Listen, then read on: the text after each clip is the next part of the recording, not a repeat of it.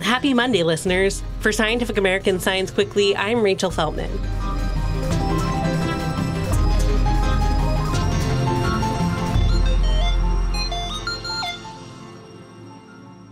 You're listening to the weekly science news roundup. Let's dive right in. First, I've got a quick dispatch from Lauren Young, Associate Editor for Health and Medicine at Scientific American. Last week, Robert F. Kennedy Jr., Secretary of the U.S. Department of Health and Human Services, announced the dismissal of all the public health experts on the Advisory Committee on Immunization Practices. The ACIP is an independent committee that counsels the U.S. Centers for Disease Control and Prevention on vaccines. Here's Lauren now to tell us more. So, a little rundown of what ACIP does.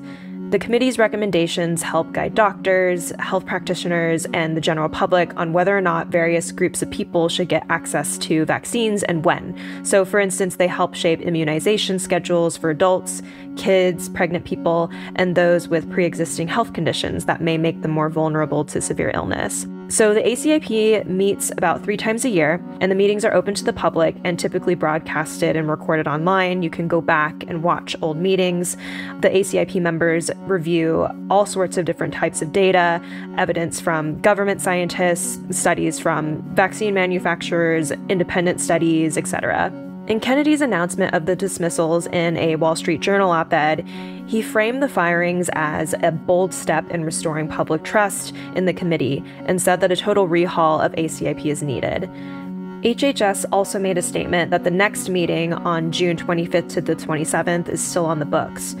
And that upcoming meeting is a big one. Votes for the upcoming fall COVID vaccines, as well as guidance for flu and RSV vaccines, are all on the table. I spoke with Brown University epidemiologist Jennifer Nuzzo, and she says that without ACIP's nonpartisan expert guidance, access to vaccines can easily become interrupted. She also points out that the HHS secretary makes final approvals of new members, giving a potential opportunity for Kennedy, who has a history being an anti vaccine advocate, to potentially stack the committee with new members who may support anti vaccine views and this can have larger consequences on access to all vaccines in the United States. So, if the ACIP doesn't recommend a vaccine, health insurers don't have to cover the costs, and that can mean a pretty hefty bill for a shot. That's a concern scientists are wrestling with right now, with the anticipated reductions in access for the next COVID shots. But Nuzzo is worried that COVID shots may only be the beginning. We're going to have to wait and see what potentially happens at the next ACIP meeting for more information. On Wednesday afternoon, Kennedy announced eight people he'd chosen to replace the 17 dismissed advisory panel members. His picks are already raising red flags among public health experts, with the list including several individuals who have expressed skepticism or spread misinformation about vaccine safety and efficacy. We'll keep you updated on this situation as it evolves further. You can also read more on scientificamerican.com. Now for some environmental news. You've heard of climate change, but what about its evil twin? That's what some experts have dubbed ocean acidification, according to The Guardian. Until now, ocean acidification was one of the few Earth system processes thought to still be within its planetary boundary, the safe operating limits for keeping the planet stable. But a study published last Monday in Global Change Biology suggests this isn't the case. Ocean acidification refers to the dropping pH of ocean waters. According to the National Oceanic and Atmospheric Administration, the acidity of surface waters has increased by about 30% in the 200 or so years since the start of the Industrial Revolution. That's because when atmospheric carbon dioxide levels go up, global warming isn't the only consequence. The ocean absorbs a lot of the atmosphere's carbon dioxide, and CO2 sets off a series of chemical reactions that leads to a lower pH.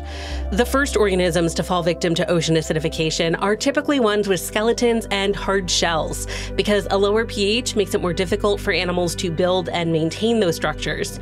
But fish and other organisms can suffer too. The new study combined existing ice core data with computer models to get a better picture of how the ocean's pH is changing. The researchers found that by 2020, more than 40% of the global ocean surface had passed the planetary boundary threshold.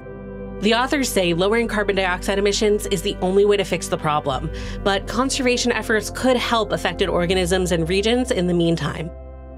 We'll wrap up with a couple of animal stories, and I'll get the less fun one out of the way first. If you've never seen a pangolin, I highly recommend doing a quick image search for one. They're the only mammals fully covered in scales, and I've always thought they kind of look like sentient pine cones. Unfortunately, pangolin scales are highly sought after for use in traditional medicine, and these adorable critters are considered to be the most highly trafficked mammal on the planet. What's worse is that they react to danger by curling up into little scaly balls. That's where the pinecone resemblance gets really uncanny, which is a great way to ward off a hungry predator, but also a great way to make them easy pickings for a human hunter. A study published last Friday in Nature Ecology and Evolution confirms another inconvenient truth about pangolins. Apparently, they're delicious. It's not actually news that lots of people eat the eight pangolin species found in Africa and Asia, but researchers wanted to figure out how much the demand for meat contributed to the animal's decline versus the scale trade. The researchers surveyed 809 hunters and meat vendors in Nigeria, which has become a major hub for pangolin trafficking thanks to the creature's dwindling populations in Asia, about how and why they acquire pangolins. It turns out that 97% of pangolins are captured not by dedicated pangolin hunters, but by people in the right place at the right time, and they're largely captured to be eaten. More often than not, the scales are actually discarded. Another survey the researchers ran, this one focused on hunters, meat vendors, and household members of each, also ranked pangolin meat higher than any other wild game or domesticated animal in terms of taste. This matters for a couple of reasons.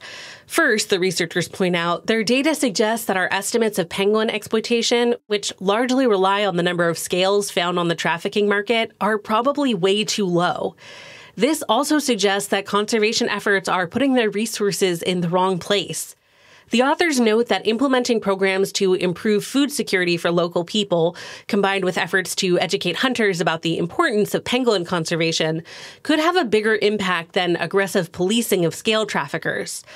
The results also provide a broader reminder that conservationists need to make an effort to understand the motivations of the people who are hunting or otherwise exploiting endangered animals. Lastly, we have a story about Triassic reptiles walking 500 miles and then walking 500 more and doing that 10 times. In a study published last Wednesday in Nature Ecology and Evolution, scientists report that more than 200 million years ago, archosauromorphs, reptiles from the evolutionary branch upon which dinosaurs and crocodiles would later emerge, may have migrated across vast distances that were previously thought to be inhospitable to life. Scientists already knew that these reptiles survived a brutal mass extinction, which opened the door for dinosaurs to evolve. It was previously assumed that archosauromorphs were stuck living in a few specific spots because of extreme heat throughout the tropics.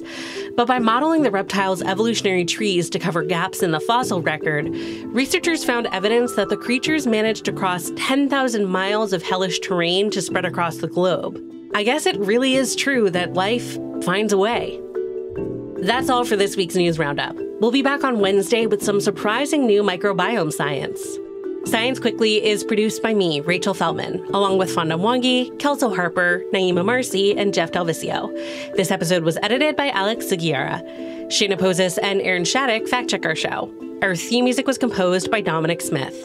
Subscribe to Scientific American for more up to date and in depth science news.